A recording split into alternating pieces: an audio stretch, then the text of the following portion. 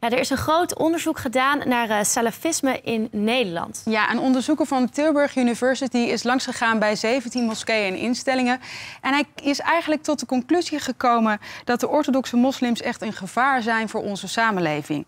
Integratie is geen optie. Dat is eigenlijk uh, de belangrijkste conclusie die hij uh, heeft achterhaald. De Nederlandse samenleving wordt gezien als een giftige slang die constant op de loer ligt.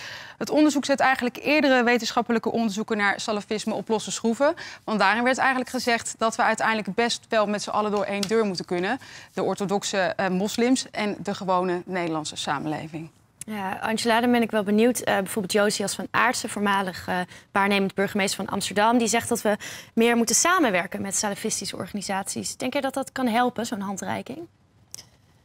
Nou ja, laat ik van het positieve uitgaan en denken dat als je de uh, verbinding met ze aangaat of een hand reikt, dat het, uh, dat het helpt. Maar ja, als ik dit hoor. Wel redelijk ja, sceptisch. maar als ik dit hoor, dan denk ik, wat doe je in Nederland? Als je onze, giftige onze samenleving een giftige slang vindt. Ja. ja. Zoek het dan ergens waar je het fijner hebt, denk ik. Ja, Wouter, hoe kijk jij ernaar? Nou, het, ik denk het moeilijke is vooral om te zorgen... hoe, hoe, hoe, kan, je dit nou, uh, hoe kan je dit nou oplossen? Hè? Hoe krijg je die mensen nou inderdaad of op andere gedachten... of krijg je gewoon weg? Want ja. uh, het, het, gekke is dat wij in het land een heleboel vrijheden hebben, vrijheden hebben... ook voor dit soort mensen om bij elkaar te komen... en allemaal dingen te filosoferen. Maar het feit dat ze dat hier mogen doen... geeft aan, eigenlijk aan hoeveel vrijheid er is. Ja. En die vrijheid proberen ze vervolgens te bestrijden. Ja, heel wonderlijk. En niet een pasklare oplossing ook. En dat is uh, een grote nee. frustratie ook in Den Haag natuurlijk. Uh, ja,